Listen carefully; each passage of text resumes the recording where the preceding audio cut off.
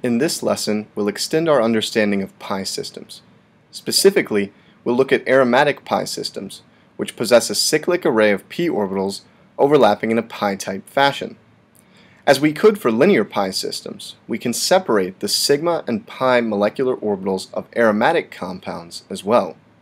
Because pi orbitals reside on the frontier of electron filling, we will focus our attention on these kinds of MOs in aromatic systems, that is, the pi MOs, throughout this and the next few lessons.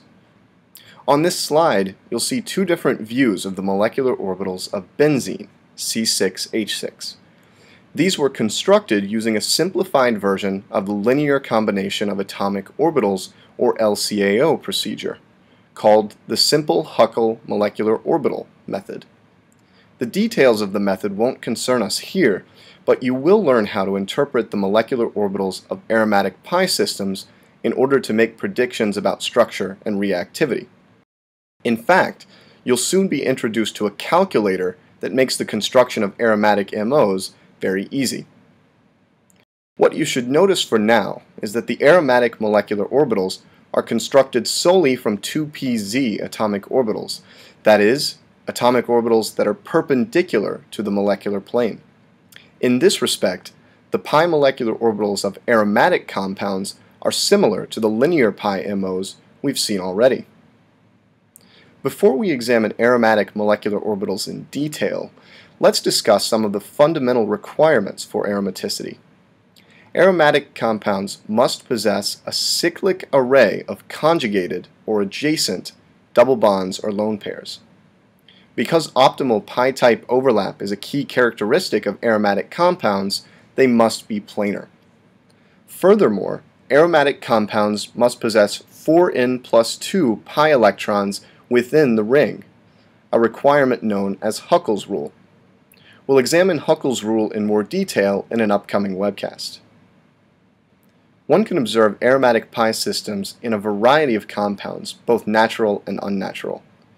Given their frequency among known compounds, you might expect them to possess unique stability, and experiments have shown that this is the case.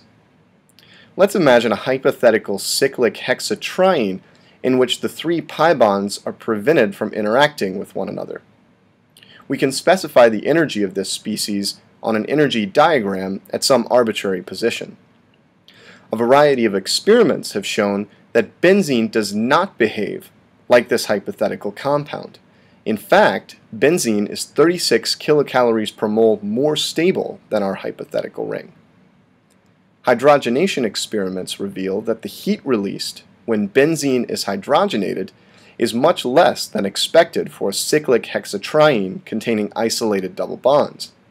This 36 kilocalorie per mole difference between what's expected and what we observe experimentally is known as benzene's resonance energy, and it reflects the stabilization that results when we allow all six 2pz atomic orbitals to interact with one another. An additional important consequence of benzene's aromatic stabilization energy is enhanced chemical resistance relative to linear pi systems.